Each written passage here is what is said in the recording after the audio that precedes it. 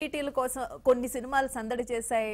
Release అవ్వడం కూడా ఇబ్బంది అనుకున్న సినిమాలు కూడా రిలీజ్ అయ్యి సక్సెస్ని చూసాయి సో ఏంటి ఓటీటీస్ ఫ్యూచర్ ఏ విధంగా ఉంటుంది అనుకుంటున్నారు సో ఇమీడియట్గా ఈ ఈ గ్యాప్లో ఈ వన్ ఆర్ టూ మంత్స్ టైంలో కొన్ని మూవీస్ రిలీజ్ అయ్యాయి. సో వాటి వల్ల మూవీకి పాజిటివ్ ఎఫెక్ట్ ఉంది అనుకుంటారా నెగిటివ్ ఎఫెక్ట్ ఉంది అనుకుంటున్నారా ఆ స్క్రీన్ ప్రెసెన్స్ అనేది మిస్ అవడం వల్ల కూడా జనాలు అంతగా ఆదరించలేదు అనుకుంటున్నారా అలాగేం లేదండి.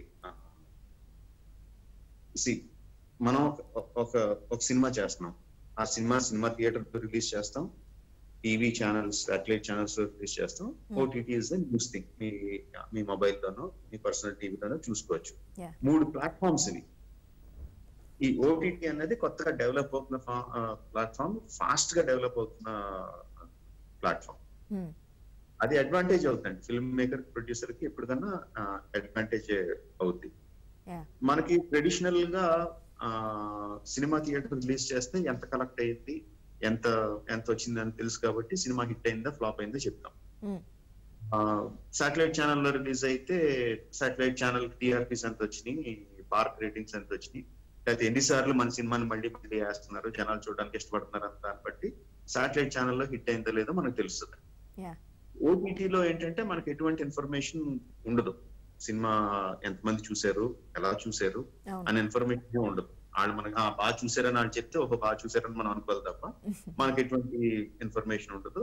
బట్ కొత్త ప్లాట్ఫామ్ కాబట్టి వి స్టిల్ డోంట్ నో దాంట్లో ఆదరణ ఎలా ఉందన్నది ఎగ్జాక్ట్గా మనకు తెలియదు మనకు తెలిసేది ఒకటి ఏంటంటే ఆ ఓటీటీ ప్లాట్ఫామ్ వాళ్ళు మన దగ్గరికి వచ్చి మా సినిమాని నెక్స్ట్ సినిమాని మళ్ళీ ఏగర్గా కొనుక్కుంటున్నారంటే ఓహో మన ముందు సినిమా బాగా వర్కౌట్ యా అది తప్ప వేరే వేరే దారి అట్ ప్రెసెంట్ బట్ ఆబ్వియస్లీ మనకి ఇంకొక ప్లాట్ఫామ్ ఉంది. సో మూడు ప్లాట్ఫామ్స్ ఉన్నాయి మనకి ప్రొడ్యూసర్ మంచిదే.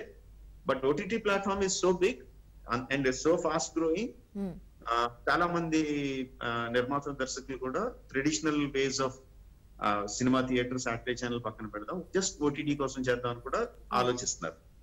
అందులో తప్పేం లేదండి. ఇట్ ఈస్ ఏమంటారు? మీకు మోర్ సోర్సెస్ జనాలకి కథలు చెప్పడానికి మోర్ సోర్సెస్ అంతే. సో ఇంకా ఎక్కువగా యంగ్ టాలెంట్స్ కూడా బయటకు వచ్చే ఆల్టర్నేటివ్ ప్లాట్ఫామ్ ఉండడం వల్ల యంగ్ టాలెంట్స్ కూడా బయటకు వచ్చే అవకాశం ఉంటుంది. Hundred hundred percent hundred percent. Yeah so మీకేమనిపిస్తుంది? ఒక్కసారి ఇక పెద్ద సినిమాలు పెద్ద హీరోల సినిమాలు ఇప్పుడు ఒకటి రెండు సినిమాలు రిలీజ్ అయినాయి ఓటీటీలో తర్వాత ఆగిపోయిన తర్వాత ఓటీటీస్కి ఎలా ఉంటుంది అనుకుంటున్నారు ఓన్లీ ఇంకా వెబ్ సిరీస్కి వాటికి మాత్రమే పరిమితం అవుతుంది అనుకుంటున్నారా ఓటీటీ? అలాగే ఉండదండి. ఓటీటీ ఇండిపెండెంట్గా జనాలు ఓటీటీలో సినిమాలు చూడడానికి ఇష్టపడతారు. ఒక సెక్షన్ ఆఫ్ ఆడియన్స్. ఒక సెక్షన్ ఆఫ్ ఆడియన్స్ ఇంట్లో కూర్చొని ఆ శనివారం ఒక రెగ్యులర్ టైం ఏదో ఉంటది. ఆ టైంలో టీవీ టీవీలో పెట్టుకొని చూడడానికి ఇష్టపడతారు.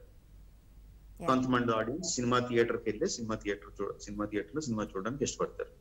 మీరు మూడు సెట్స్ ఆఫ్ ఆడియన్స్ ఉన్నారనుకోండి. అంతే మీరు చేసే సినిమా ముగ్గురికి క్యాటర్ చేద్దాం అనుకోవచ్చు ఒకళ్ళకి క్యాటర్ చేద్దాం అనుకో అనుకోవచ్చు. అది ఇండిపెండెంట్ డెసిషన్. ఫిల్మ్ మేకర్ తాలూకు ఇండిపెండెంట్ డెసిషన్. ఎలా కావాలంటే అలాగా చేసుకోవచ్చు. ఒకటి ఇంకో దాన్ని ఎక్కువ ఎఫెక్ట్ చేయదండి. ఇప్పుడు మనకి సాటిలైట్ ఛానల్స్ వచ్చినప్పుడు అయ్యో సాటిలైట్ ఛానల్స్ ఇంటి సినిమాలు వస్తే థియేటర్కి ఎవరు చూస్తారు అనుకున్నాం కదా. బట్ ఫైనల్గా సాటిలైట్ ఛానల్స్ చూస్తున్నారు సినిమా సినిమాలో చూస్తున్నారు audience.